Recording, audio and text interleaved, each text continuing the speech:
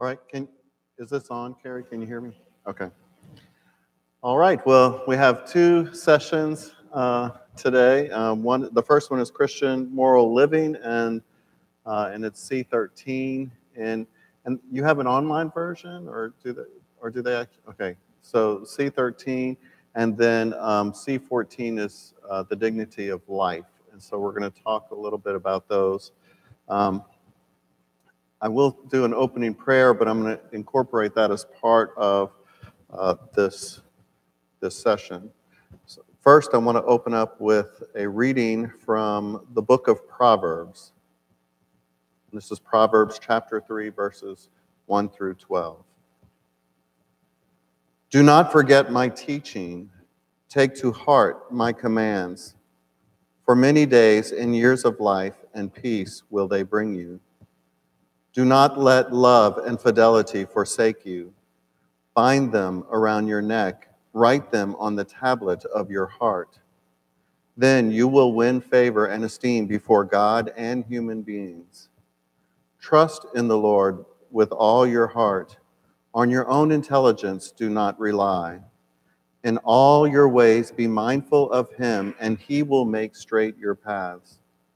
Do not be wise in your own eyes. Fear the Lord and turn away from evil. This will mean health for you, for your flesh, and vigor for your bones. Honor the Lord with your wealth, with first fruits of all your produce.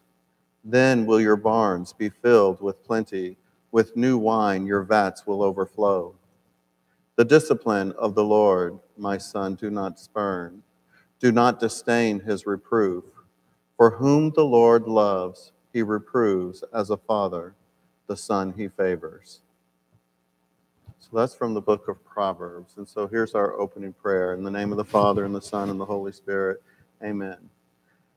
Heavenly Father, we realize and we've experienced that many times we fall into the trap of learning on our own understanding of right and wrong. Sometimes we have even denied your presence or authority or the existence of any universal morality, thinking instead it's true or right for me.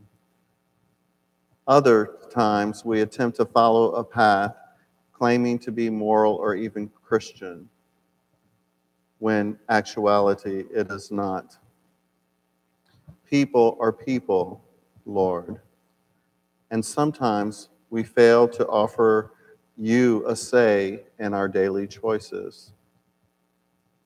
So we look to you tonight as we discuss this topic to be with us, to guide us, to help us become closer to you, to become close to the point where our decision making is based on your reflection of how you would perceive the situation.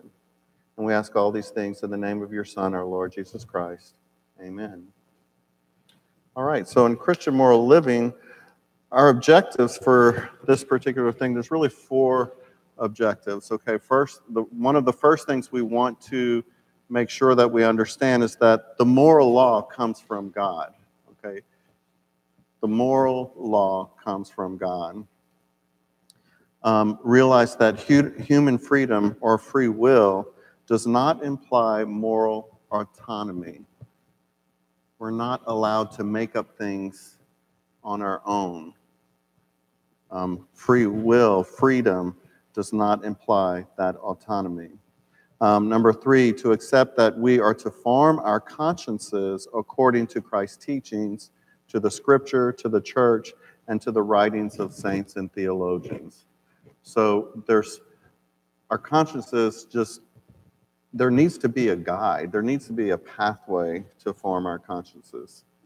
And realize that the ultimate goal of Christian moral living is not to just avoid sinning, which of course is always the goal, but to learn to live a life of love, to be able to love one another as he has loved us.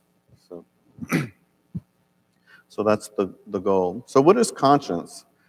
Um, there, there is a specific definition they give, and um, moral conscience is present at the heart of a person, so it's present within inside, inside of us, and enjoins us at the appropriate moment to do good and to avoid evil. But it also uh, judges against particular choices that we have made. So um, uh, the choices uh, sometimes that we have made uh, are um, can be validated or substantiated by our moral conscience, right? So we, um, it, it guides us in that way. Um, and approving, proving those things that we did that were good, but denouncing those that were evil. Um, also, it gives us, the moral conscience gives us the ability if an act occurs to be able to make a judgment as toward the goodness or the evilness of that act. Okay, so that's in our moral conscience. So um, it's a, and by judgment, by using our judgment, we perceive and recognize the prescriptions of the divine law, the law that God has written in our hearts. So even if someone has never been exposed to um, to really anything, there's there's kind of like this natural law that exists, and there's a law that exists within our own hearts just because we were created in the image and likeness of God. Um, and there's something that triggers us. Well, that wasn't really right, was it? Or that, you know, or that was right, or you know, I need to step in here and stop that. And so that's that's our moral conscience that's capable of that. Um, so there, um, there are several different scriptures. But first of all, I wanted to talk about how do we make big decisions of our life. Any, anybody has purchased a house before, or chose a school, or um, decided to get married, or was purchasing a car, made something big, some big decision in your life. How do you go about making those big decisions? What is your process? Is there a process, or is it just, I'll pick that one, you know? You know, oftentimes things that are really big, really important in our lives, we have a process. And sometimes it's more organized. For some people, it's very organized. They have spent years of research. They've got it down to the wire. They have it, you know, formatted. And some people, they're a little bit more carefree, but there's still a process when we're making big decisions. The moral life requires a process as well. Okay, the moral Christian morality requires uh, a process. Um, uh, there was a, a, one of the disciples um, asked how Jesus came to present himself to them and not to the rest of the world. And Jesus answered, and this is in John 14, chapter, I mean, chapter 14, verse 23 Whoever loves me will keep my word, and my Father will love him, and we will come to him and make our dwelling with him. Jesus is saying that loving God, loving him, is a way to welcome him into our hearts. That's one of the first starts of, of recognizing um, the, the morality in us, is, is to be united with Christ. Um, and then we also have in Matthew um, chapter 7, verse 21 Not everyone who says to me, Lord, Lord, will enter the kingdom of heaven, but only the one who does the will of my Father. So, just because we say we know who God is, and, and but we don't act on that, we don't participate in His will, um, and Jesus, we call Jesus by name only to say that we're Christian, but not live a life of a Christian life. Um, Jesus says um, He will not recognize us. Um, so, how can we know God's will? I mean, obviously, there must be something that we have to do to know the will of God and, um, and to know what choices to make. So, I was talking about those big choices uh, a, while, a while ago. Does anybody have any examples in their life, like when they're making a big choice that they want to share or anything like that? You don't have to. I'm just asking.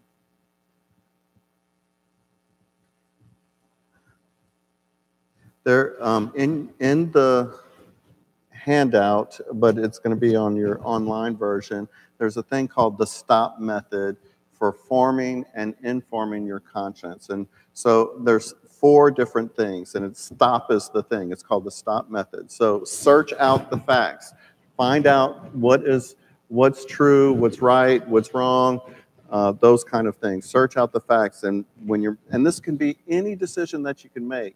You can bring Jesus into that decision using the stop method. Think about the alternatives. Okay? What would happen if I do this? What, what are the consequences of my actions? What things will get better? What things might get worse? What things might make me help my family? What things might make it worse on my family? So, um, like if you're making a big move across the country, you know, but everybody's rooted in one place, that might be something you need to do, but what are the consequences of that action? Consult others. So, others is the third one. So, search and out facts, think about alternatives, others to be consulted, um, and then other people that have um, that you respect, that have Christian values, that um, are knowledgeable about the topic that you're you're asking about. Um, talk to them uh, about that, and then I think the most important one, the P, pray, pray for guidance. So pray for guidance. Um, going back to others who should be consulted. I remember um, my oldest daughter, uh, she wanted to be uh, a film studies major. I'm a physician. I went high school, college, medical school. My wife's a physician. She went high school, college, medical school. That's all we know. We don't know anything else. So she's and she's asking our opinions, and then we're like, really? We know nothing about film. You can't ask us about film. Go talk to people that are in film. Go talk to, you know, and there are people in in this community who have some film experience or or they have family members. And so it's like you can't talk to us, you know, and then she goes through this whole process, becomes a film studies major, does well, and then when she graduates, she gets job offers in California um, and, and decent job offers. And she gets job offers in New Orleans. And she was like, Well, I don't want to move there. and I was like, That should have been part of your thought process, you know. you know, we got to go where film is made, right? So big decisions require some, a little bit of planning.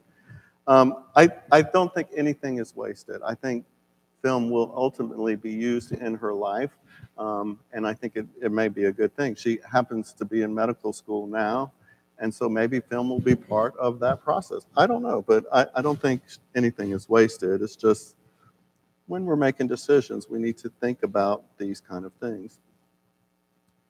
Um, the next section in the in the handout is following our conscience. Um, And remember, I told you what conscience was. So, and this is from Romans uh, chapter 2. They show that the demands of the law are written in their hearts, while their conscience also bears witness. So the demands of the law is written in our hearts, and our conscience also bears witness. And their conflicting thoughts accuse or even defend them on the day when, according to my gospel, God will judge people's hidden works through Christ Jesus. So our actions will reflect how our, we are, or we're affected by what was written on our hearts and our conscience. Both of them come into play. Um, and in the Catechism, it talks about the moral good consists in a man being moved to do the good, not only by his will, but also by his heart. It's an internal thing. It's, a, it's, a, it's Jesus lives within us. It's that internal consultation with Jesus. Um, so having a conscience and a free will does not imply a right to say or do everything. This freedom of free will um, is we can't do anything that we want just because we want to do it. There is a moral law that we violate, and we violate our own freedom and become imprisoned within ourselves um, when we disrupt the moral law, when we disrupt our neighbors, when we rebel against divine truth. So um, it's not a freedom to do whatever we want. Our freedom, our free will allows us to choose good and avoid sin, submitting ourselves to the ways of God. God created us right to be in that relationship with, with Him. We were created to be in that relationship. Think about the first um, um, Adam and Eve, the first people. Um, God created them and they were united with Him in the beginning. Uh, God will not force us into faith, He offers it freely. He will not force us to be obedient to his will, but he desires the relationship. And when we are obedient to his will, we're in that relationship with him.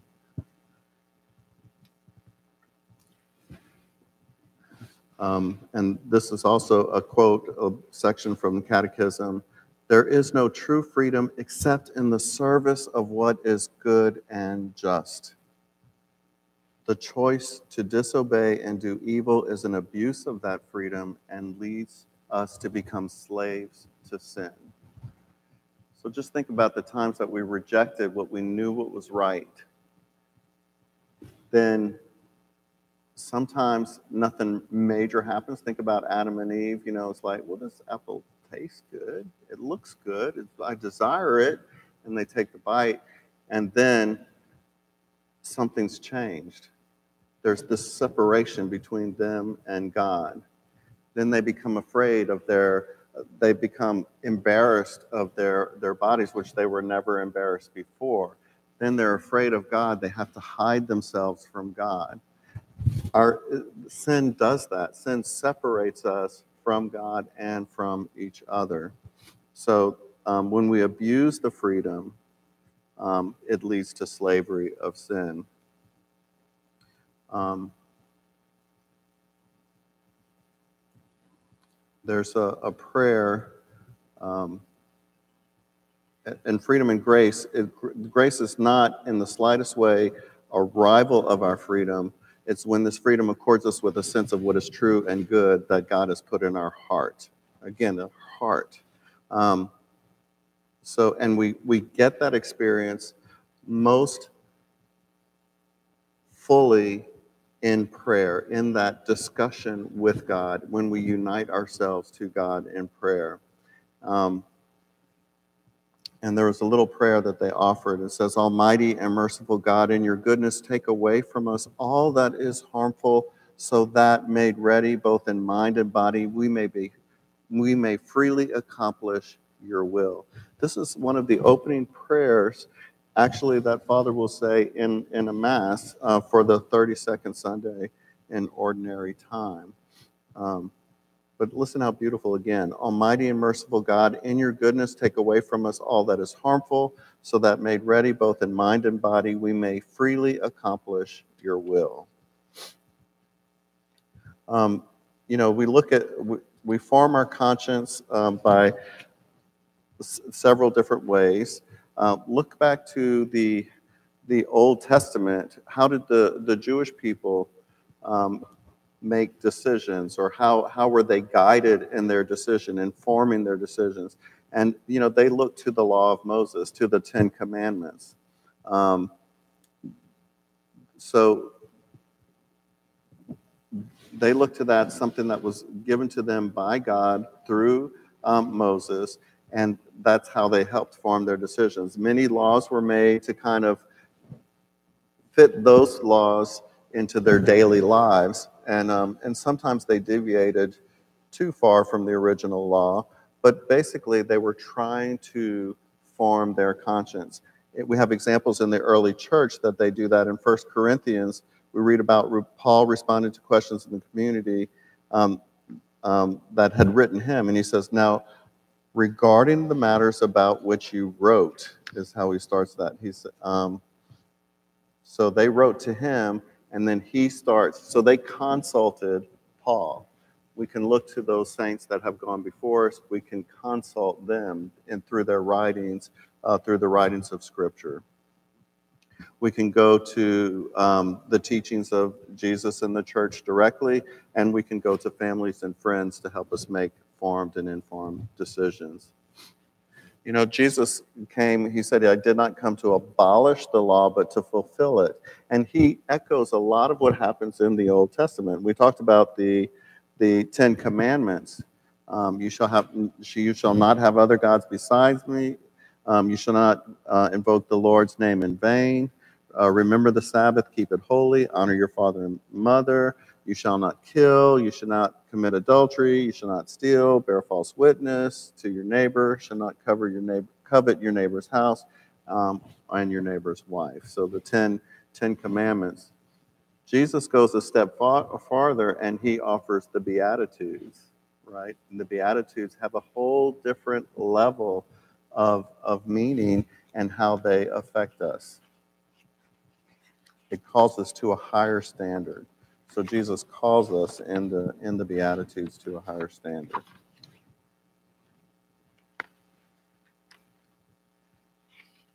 Anybody have examples? And he he uses um, blessed. Uh, so blessed are the poor in spirit, for theirs is the kingdom. Blessed also means happy, so you can substitute that word. Blessed are they who mourn, for they will be comforted. Blessed are the meek, for they will inherit the land. Blessed are those who hunger and thirst for righteousness, they will be satisfied. Blessed are the merciful, for they will be shown mercy. Blessed are the clean of heart, for they will see God. Blessed are the peacemakers, for they will be called children of God. Blessed are they who are persecuted for the sake of righteousness, for theirs is the kingdom. And blessed are you when they insult and persecute you and utter every kind of evil against you falsely because of me. Rejoice and be glad, for your reward will be great in heaven. And thus they have prosecuted the, persecuted the prophets before you. So it calls us to a higher standard. What do you think if everybody, though, I mean, just even without that higher standard, if every person in the world followed just the Ten Commandments, what do you think this world would look like? I mean, think about it a lot different than it is now, right? I mean, just just um, thou shalt not steal, thou shalt not covet, thou shalt not, you know, honor your father and mother. I mean, if we just did those 10 things, how much better we would be.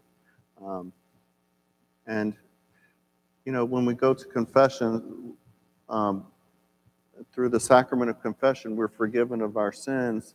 Uh, one of the ways that we we reflect on our sins is we go through the Ten Commandments to help us figure out what sins we've committed. You know, so um, again, Jesus uses a higher standard. So it says, uh, you know, you shall, um, you know, you shall not. Um,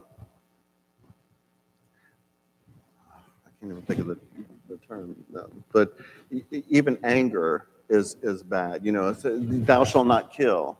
He says, I, I tell you, even if you're angry against your brother, that will be a sin against you. You know, and then if you go on further, the further you carry it, that's where it leads to, you know, to a hatred, and um, and then the sin that's committed is uh, could ultimately result in in killing.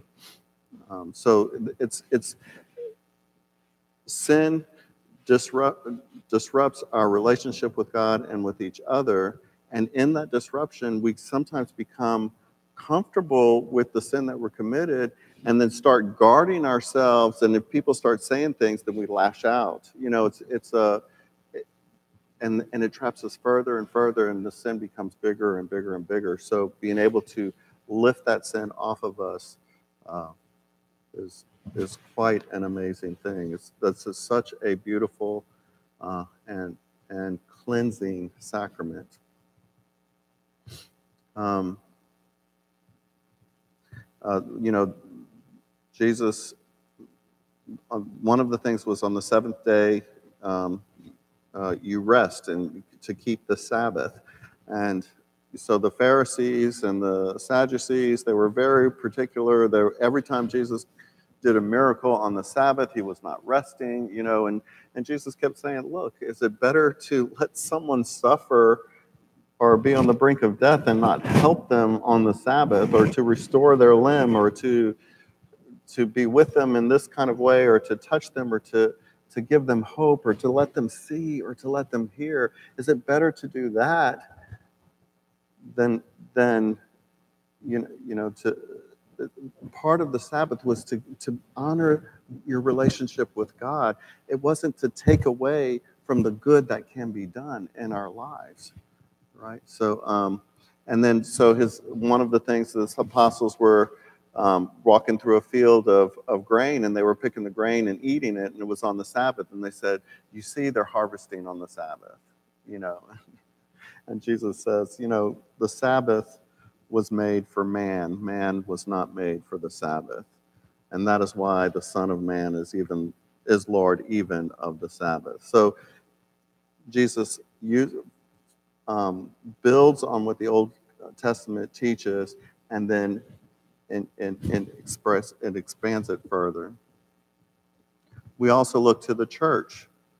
Um, remember, the source of the authority for the church comes from Christ himself when he said to Peter, I will give you the keys to the kingdom of heaven.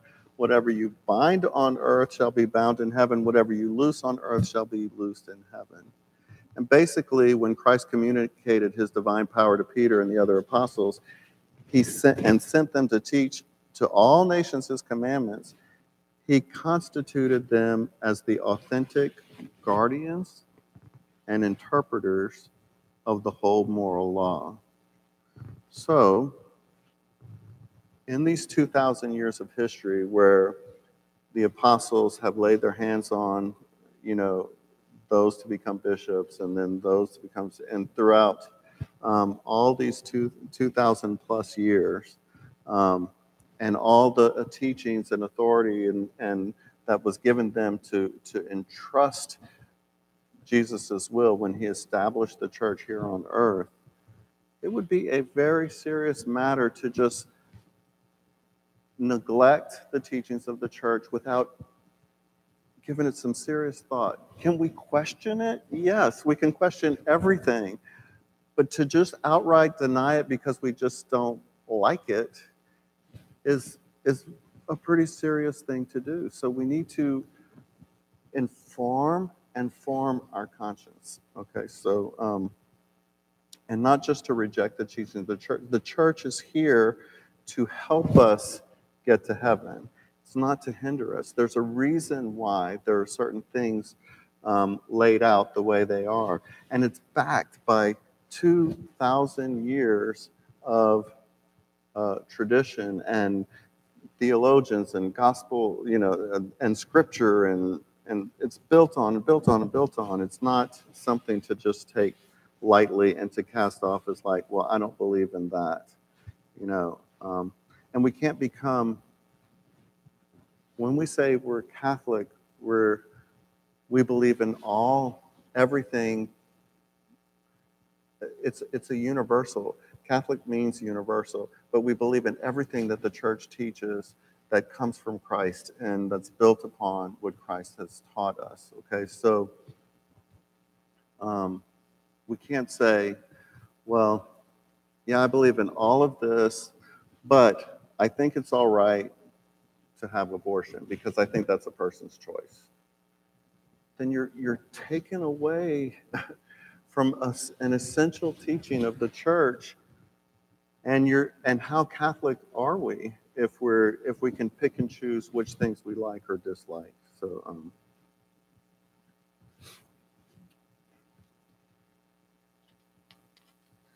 living like christ. Um, and this is i'm going to read a passage from the gospel of matthew. When the son of man comes in his glory and all the angels with him he will sit upon his glorious throne and all the nations will be assembled before him. And he will separate them one from another, as a shepherd separates the sheep from the goats. He will place the sheep on his right and the goats on his left.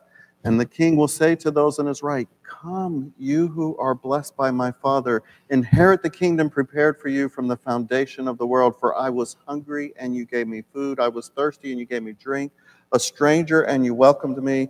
Naked, and you clothed me. Ill, and you cared for me. In prison, and you visited me. Then the righteous will answer him and say, Lord, when did we see you hungry, feed you, or thirsty and give you drink? When did we see you a stranger and welcome you, or naked and clothe you? When did we see you ill or in prison and visit you? And the king will say to them in reply, Amen, I say to you, whatever you did for one of these least brothers of mine, you did for me. Then he will say to those on his left, Depart from me, you accursed into the eternal fire prepared for the devil and his angels. For I was hungry, and you gave me no food. I was thirsty, and you gave me no drink. A stranger, and you gave me no welcome. Naked, and you gave me no clothing. Ill and in prison, and you did not care for me. Then they will answer and say, Lord, when did we see you hungry or thirsty or a stranger or naked or ill or in prison and not minister to your needs? And he will answer them, Amen. I say to you, what you did not do, what you did not do for one of these least ones, you did not do for me. And these will go off into eternal punishment, but the righteous to eternal life.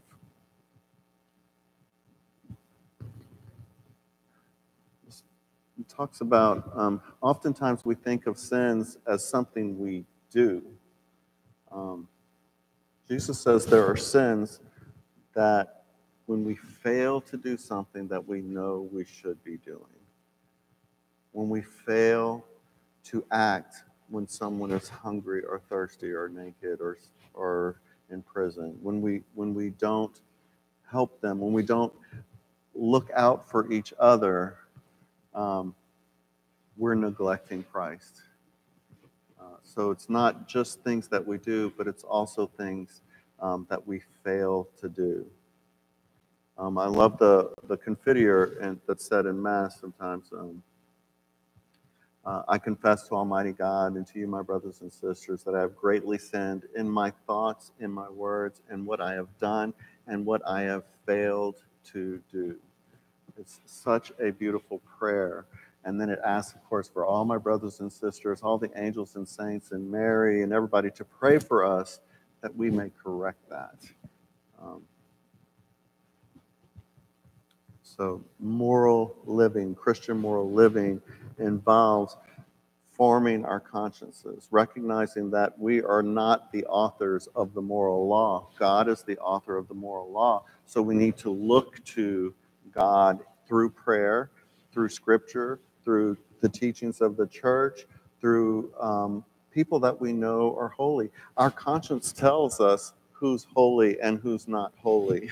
I mean, we can, uh, I remember people, um, um, I remember being in the presence of uh, a person and I was like, wow, that person is so close to Jesus. Everything they do I see Jesus in them. I mean, it was just amazing. You know, we know that person is holy. That's someone we need to go and ask, what are you doing? What do I need to do that will help me follow Jesus like you are following Jesus?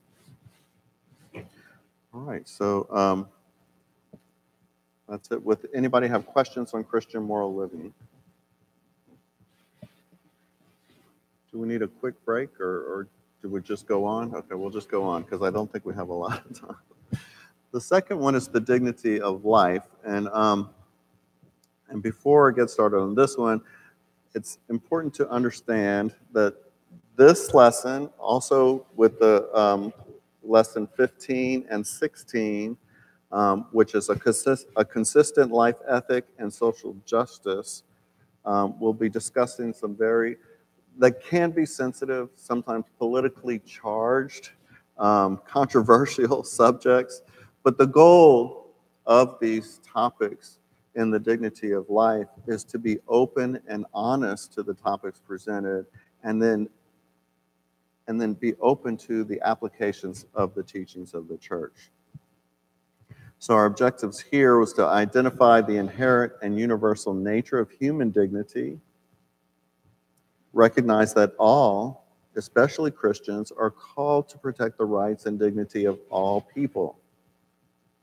So, um, recall several forms of prejudice, um, and there's a distinction sometimes based on race, creed, national origin, uh, gender, sexual preference, age, ability, economic status, all those kind of things. Um, there can be, uh, we can have prejudices about that. Sometimes we don't even realize it. Um, and so we need to pray about that and then recognize also that the dignity of life calls us to treat God's creation with respect. So it's not just about the dignity of the human person, but the dignity of everything that God created, the dignity of life. Um, and so this is the opening scripture. Um, this is from Luke, um, and it's talking about the greatest commandment and then the parable of the Good Samaritan. There was a scholar of the law who stood up to test him and said, Teacher, what must I do to inherit eternal life? Jesus said to him, What is written in the law? How do you read it? He said in reply, You shall love the Lord your God with all your heart, with all your being, with all your strength, and with all your mind, and your neighbor as yourself. He replied to him, You have answered correctly. Do this, and you will live. But because he wished to justify himself, he said to Jesus, and who is my neighbor? Jesus replied, A man fell victim to robbers as he went down from Jerusalem to Jericho. They stripped and beat him and went off, leaving him half dead.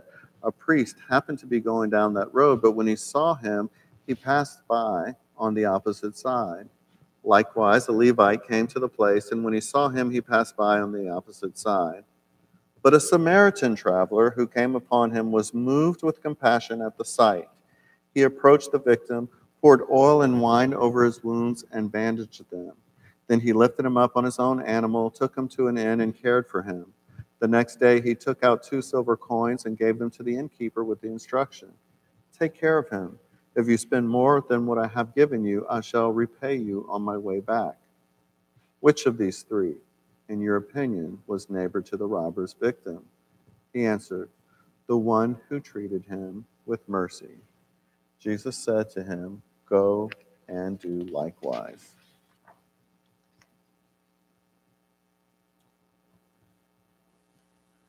You know, Jesus, in every encounter he met, he's our, he's our example, right? He's on how we should live our life. In every encounter with an individual that was suffering, that needed help, um, whether they were Samaritan, the Samaritan woman at the well, the um, whether they how sinful they were. Uh, if they came to Jesus, he the first thing he did was restore their dignity. He he either touched them, he said something to them, but he he affirmed their dignity, and um, and that's how our encounter with every person should be to affirm their dignity. Um, how do charity and acts of kindness, no matter how small, reflect and contribute to human dignity? Um, anybody want to share a little bit about someone that maybe took time from their busy life to help you and how that made you feel more like a person, more you you it justified or verified, affirmed your dignity. Anybody want to share a little? Oh, y'all are talkative. okay. Yeah. Okay. Sure. Sure.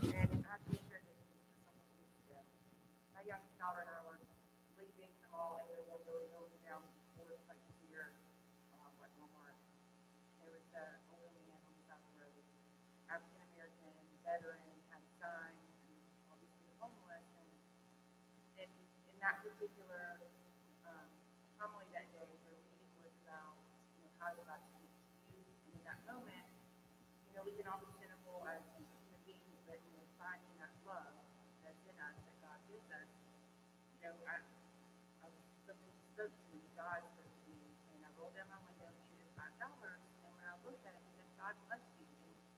in his face, like you could see with him that he didn't feel pity from me. Like he felt true love. Mhm. Giving. Mhm. Yeah. And he feels good that I can give that to him. Yeah, but I mean, it wasn't just the money, but it was your expression for God to love him or that I love you because of God uh, re- affirmed his dignity. So no matter uh, how poor he was, how down he was, how he and how bad he felt, that act of kindness restored his dignity, made him remember that he was made in the image and likeness of God. Yeah, that's that's awesome. Um, and these are just things to reflect on. I'm not going to ask anybody to say, but can you think of some ways that you and I could be good Samaritans to others? Um, that was an excellent example. Uh, how about reflect on times in our lives where we saw an injured person that was not a member of our family and injured in any kind of way, like economically injured or, or whatever, but um, or physically injured or, or um, and was not a member of our family, community, or culture, did we choose to look the other way?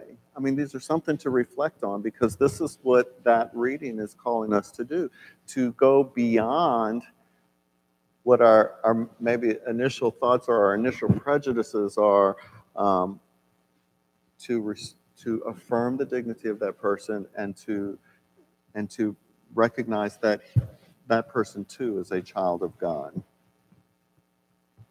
Um, all humans have equal dignity and value. God has given us this. God has given us this. Um, if we look around us, though, God did not create us identical, right? We're not we're not just like robots that were manufactured by um, people. Every single one of us is different. Everyone is diverse, uh, both um, ethnic backgrounds to um, how we grew up, uh, short, tall, bald, you know, we're all different, you know. Uh, and we all have, but we all have the same dignity. We all have equal dignity. It doesn't matter who we are. It doesn't matter where we came from. It doesn't matter how poor we are or what, what race we are, what ethnicity. We all have equal dignity. And that's that's always important to remember. And remember, Jesus, when we encounter another person, we need to think of that person too as a child of God. That person is a child of God. That, that needs to be our mantra. Uh,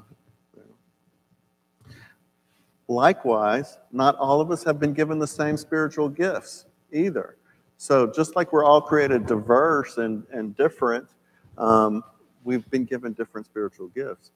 How do we use those gifts? They're meant to bring others closer to God. They're meant so that our actions reflect that we truly are Christians, that we truly love one another, right?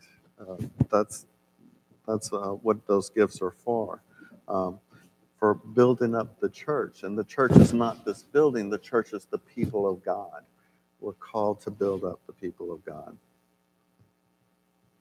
Um, you know, race and ethnicity, they go through different um, uh, sections of, of people that have been discriminated based on, on different things. So race and, and, and ethnicity, um, you know, racism is a radical evil that divides the human family. It divides us as a human family. Um, so as um, and this is from brothers and sisters to us it's in the the online version as individuals we should try to influence the attitudes of others by expressive expressly rejecting racial stereotypes racial slurs and racial jokes we should influence the members of our families especially children to be sensitive to the authentic human values and cultural contributions of each racial grouping in our country because God created us to live together in harmony. Even though we're different, we celebrate the diversity, but we live together in harmony where it fosters unity, growth, enrichment, um, and, and, and oneness, the body of Christ. We become one body. Um, uh, gender, the next topic is gender equality. So God created mankind in his image. In the image of God, he created them, male and female, he created them. Okay, so um,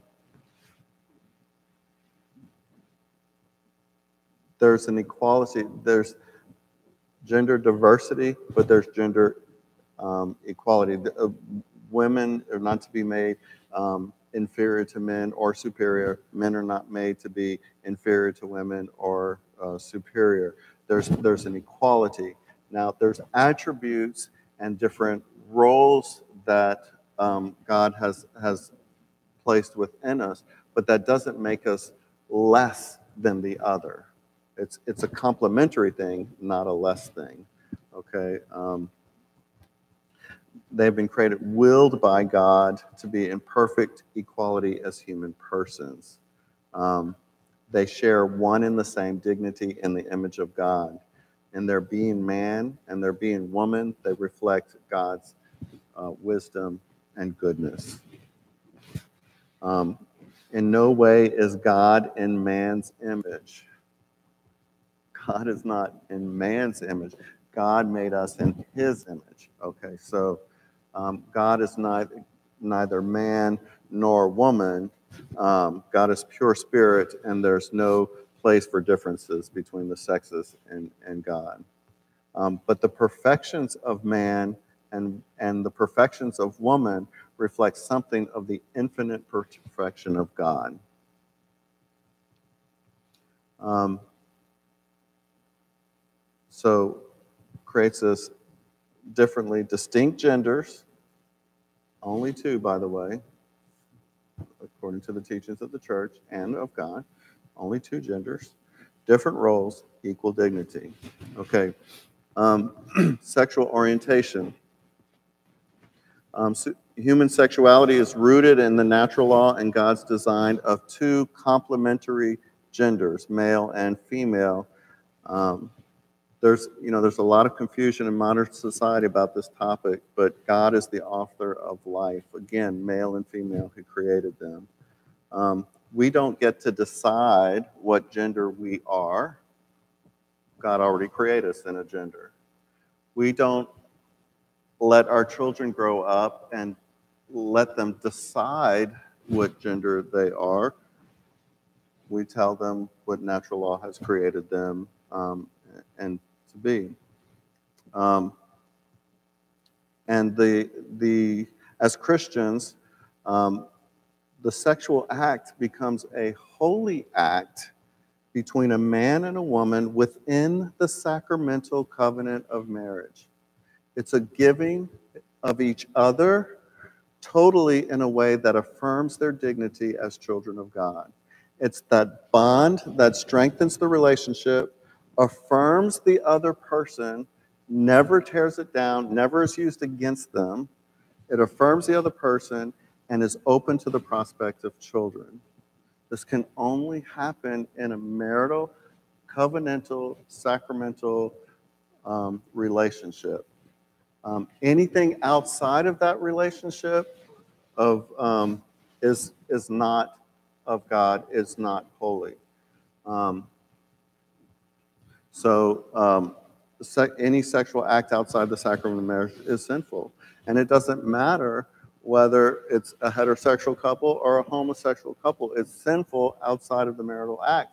Well, um, homosexuals can get married in the United States now. It's not recognized by the church because it does not fit into the natural law of what is meant to be holy between a man and a wife only in the covenantal relationship and in the sacrament of married life. So, um, this is very confusing. At the same time, there people cannot help who they are attracted to. Okay, some people are attracted to people of the like sex, but that doesn't make it, and that in itself is not sinful. To act on that is sinful. To act on anybody that you're attracted to outside of the sacrament of marriage in a sexual manner is sinful. So that's the sinful act. So we're called then to live a life of chastity in our state or vocation. So, um, if if um, if we're married, that that that life of chastity is the covenant between each other, and and to be chaste, where we don't go outside the mar- marital sacrament to other people. Um, but outside of that, single people are called to be chaste in that state of life. So, and homosexuality is in that is in that group as well. Just as it is with heterosexual people, it's, it's no difference. It's not picking on them. Um, so let's see. So sexual orientation. Anybody have questions so far in any of this? Because these are hard, tough topics. But um, all right, social socioeconomics. Um, the U.S. bishops teach that economic decisions have moral and social dimensions that either enhance or diminish the human dignity.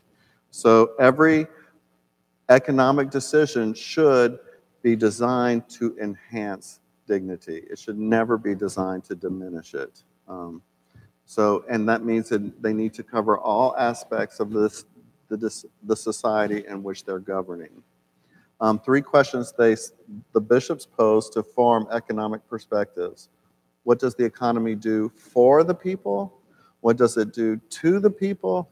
And how do the people, how are the people able to participate in that economy? One of the things of economic justice is the ability to be able to participate. When we exclude someone, do not allow them to work for whatever reason and exclude them from participating in providing for their families, that is a threat against their, that is a, a diminishing their dignity. That's taken away uh, their, their freedom and dignity. Okay, the common good. The common good is to be understood as the sum total of all social conditions which allow people, either as groups or individuals, to reach their fulfillment more, more fully and more easily so it presupposes the respect for the person, the social well being and development of a group or persons, and it requires peace and security. Um, and so, in, in the common good of when, when people are making these economic decisions or any decisions, we have to think about how will this affect everyone in the group, leaving no group uh, um, out. And then at the same time, doing it in an environment that's peaceful and secure. And then the last thing was care for creation. You know, God looked in Genesis chapter 1, God looked at everything that He had made and found it very good. Um, we are called as Christians to respect our environment, to preserve our environment the best that we can, to not throw litter and stuff out on the on the roads as we're driving by, um, and to um, keep that for future generations because God created it and it is very good. Um, I'm almost finished, uh, but things I want us to be thinking about is um, reflect on our own prejudices, biases, assumptions, and insecurities. Almost everyone has them. I'm not, no one's picking on anybody. But first, we have to identify them. And then, in order to change them or change our perspective, how can we weed out that prejudice and labels from my own life? How can I sow seeds that bring life and full appreciation for human dignity? And how, have I ever been a victim of discrimination or um, prejudice? And if I have, how, what can I do to go in the path to forgive the other and then at the same time allow for gentle correction so that way they can see what they're doing is harmful. Okay, so things to think about. And then our closing prayer, I'm going to read from Matthew and, um, and then we'll, we'll say the Our Father together. Um, before I do that, anybody have any questions? I know I just kind of rushed through all of this, but it's a big topic with a lot of stuff, and I wanted to include everything. Any questions or anything? Okay. So this is from Matthew chapter 5. Give to the one who asks of you, and do not turn your back on one who wants to borrow. You have heard that it was said, You shall love your neighbor and hate your enemy. But I say to you, love your enemies and pray for those who persecute you, that you may be children of your heavenly Father. For he makes his sun rise on the bad and the good, and causes rain to fall on the just and the unjust. For if you love those who love you, what recompense will you have? Do not tax collectors do the same? And if you greet your brothers only, what is unusual about that? Do not the pagans do the same? So be perfect, just as your heavenly Father is perfect. And I'd like to, our final closing prayer will be the Our Father, and we could do that together. Maybe we can all stand for that. So. In the name of the Father, and the Son, and the Holy Spirit, amen. Our Father, who art in heaven, hallowed be thy name. Thy kingdom come, thy will be done, on earth as it is in heaven. Give us this day our daily bread, and forgive us our trespasses, as we forgive those who trespass against us. And lead us not into temptation, but deliver us from evil. Amen. name of the Father, and Son, and the Holy Spirit. Amen. If you have any questions or any thoughts, if you want to come up, and um, I'll be here for a little bit. But I think.